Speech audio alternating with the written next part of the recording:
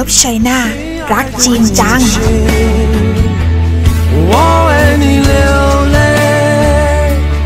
也为你自豪，我爱你中国。Thank you for making me heaven today,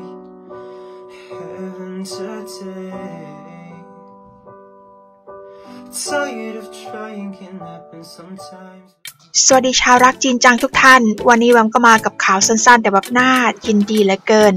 เห็นข่าวนี้แบบดีใจมากๆ ก็คงจะเหมือนแฟนคลับของน้องแพทริกนะคะ ทุกท่านที่คอยเป็นกำลังใจให้กับน้องตลอดมา เราเองนะคะที่เป็นคนไทยเนี่ย เห็นวัยรุ่นไทยนะคะไปต่อสู้นะคะ เพื่อที่จะเป็นไอดอลยังฝั่งประเทศจีน ด้วยความสามารถที่หลากหลาย คนจีนก็ให้ความรักกับน้องแพทริกมากๆ และตอนนี้น้องแพทริกได้แสดงภาพยนตร์แล้ว แพทริคณัฐวรรธ์ค่ะก็เดบิวต์งานแสดงในหนังเรื่องแรกแล้วนะคะสำหรับหนังจีนรีเมคค่ะ เรื่อง Delicious Romance สมใจแฟนคลับนะคะเจ้าปาดาวค่ะแฟนคลับของน้องแพทริคศิลปินที่มากความสามารถจริงๆนะคะทั้งร้องทั้งเต้นทั้งเล่นดนตรี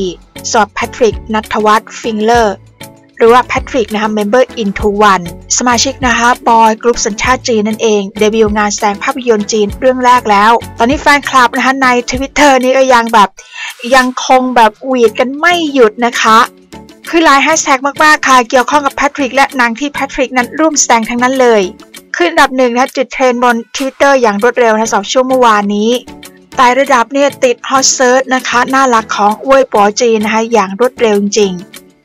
ยอดอ่านทะลุไป 6 ล้านครั้งสำหรับช่วงของเมื่อวานนี้ 11 พฤษภาคมช่วงเมื่อวานนี้นะคะ ก็ประกาศย่างเป็นทางการแล้วค่ะสำหรับเรื่องราวของการวงสวงค่ะและการเปิดกล้องสอบภาพยนตร์จีนค่ะ ที่ชื่อว่า Delicious Romance ตัวนี้เคยถูกสร้างเป็นซีรีส์ออกอากาศทาง Tencent Video ในช่วงปี 2021 ถูกหยิบมาสร้างอีกครั้งหนึ่งในเวอร์ชั่นภาพยนตร์สอบเรื่องราวก็เป็นเรื่องราวที่เล่าผ่านตัวละครนะคะสามหญิงงามในเมืองใหญ่ ที่เผชิญอุปสรรคต่างๆ ผ่านมุมมองของมิตรภาพการงานความรักครอบครัว ตรงนี้ก็จะพาคนดูไปเห็นการเจริญเติบโตของพวกเธอนะคะ ทั้ง 3 คนค่ะ คือนักแสดงหลักในเรื่องนี้เป็นผู้หญิงนั่นเองทั้ง 3 ท่าน น้องแพทริกในช่วงเมื่อวานในช่วงบ่ายๆนะคะ ก็มีอัพภาพด้วยในกองละครที่แบบว่าเปิดตัวนะคะ ร่วมงานกับเหล่าดานักแสดงหลักทุกท่านกันเลย นี่เป็นภาพจากแอคเคาท์นะคะอวยปอของน้องแพทริก ก็มีพิธีบวงสรวงกันด้วยสำหรับช่วงเมื่อวานนี้ค่ะ น้องแพทริกก็ปรากฏตัวนะคะในเสื้อสีขาวหล่อมาก ๆ ตอนนี้ในส่วนนะคะของชื่อของน้องแพทริกในเรื่องค่ะยังไม่มีแจ้งนะคะว่าชื่ออะไร นอกจากน้องแพทริกแล้วยังมีนักแสดงที่เป็นนักแสดงชายอีกหลายท่านด้วยกันค่ะ ส่วนนักแสดงหญิงนะคะที่เป็นนักแสดงนำหลักก็มีคุณหลี่ชุน มีคุณเบบี้จางนะคะ มีคุณเนามิหวังค่ะ นี่ก็เป็น 3 ท่านด้วยกันนะคะที่เป็นนักแสดงนำมีข่าวคราวความคืบหน้ายังไงเกี่ยวกับหนังเรื่องนี้ค่ะ ที่น้องแพทริคนั้นได้ร่วมแสดงนะคะ ก็จะได้นำมาเล่าให้ฟังค่ะเป็นอะไรที่แบบตื่นเต้นมากๆสำหรับน้องแพทริคของเรา เป็นที่รักของทั้งชาวไทยนะคะ ไปอยู่ที่จีนก็เป็นที่รักของคนจีน ในเว่ยป๋อนี่ก็มีโอ้โหคน support น้องเยอะมากๆค่ะ สำหรับน้องแพทริคนะคะก็เกิดวันที่ 20 ตุลาคมปี 2546 และปัจจุบันอายุ 18 ปี เป็นลูกครึ่งไทยเยอรมันนั่นเองค่ะ เกิดในประเทศเยอรมันนะคะ แล้วก็อาศัยอยู่ในประเทศไทยของเรานี่แหละอย่างที่เราทราบกัน เป็นชาวจังหวัดร้อยเอ็ด